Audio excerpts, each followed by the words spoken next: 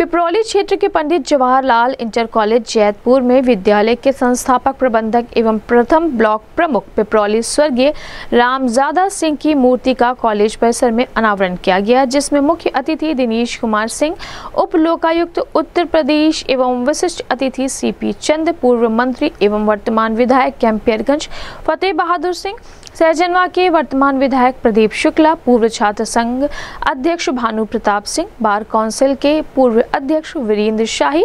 Advocate Yashwant Singh, जिला सहकारी bank Gorakhpur के पूर्व अध्यक्ष रणविजय चंद,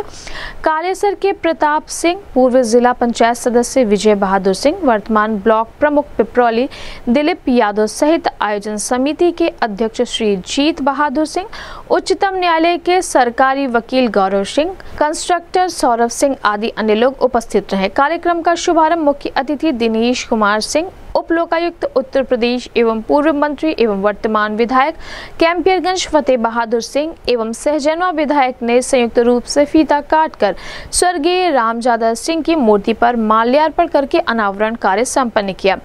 उक्त अवसर पर विद्यालय के प्रबंधक प्रतिनिधि जीत बहादुर सिंह द्वारा भी अपने पूर्वज का माल्यार्पण एवं पुष्प अर्पित करते हुए श्रद्धा सुमन अर्पित किया गया। कार्यक्रम के अगले क्रम में मुख्य अतिथि एवं सभी विशिष्ट अतिथि एवं अन्य क्षेत्रों से आए गणमान्य व्यक्ति सभा में उपस्थित हुए। मुख्य अतिथि महोदय ने अपने उद्बोधन में कहा कि स्वर्गीय रामजादा सिंह ने इस विकास से पिछड़े क्षेत्र में विद्यालय की स्थापना करके एक पुनित कार्य किया जिससे इस क्षेत्र की जनता वर्ष उन्नीस में विद्यालय स्थापना वर्ष के बाद से अनवरत शिक्षा के प्रकाश से प्रकाशित होती रही है।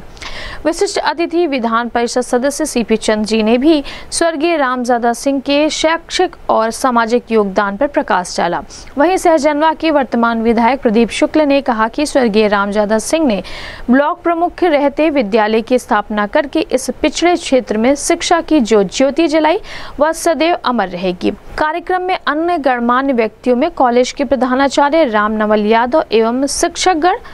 हौसिला सिंह जयप्रकाश सिंह, राम मनोहर सिंह, प्रमोद सिंह, सुरेंद्र कुमार श्रीवास्तव, परशुराम शुक्ल आदि गणमान्य लोग उपस्थित रहे।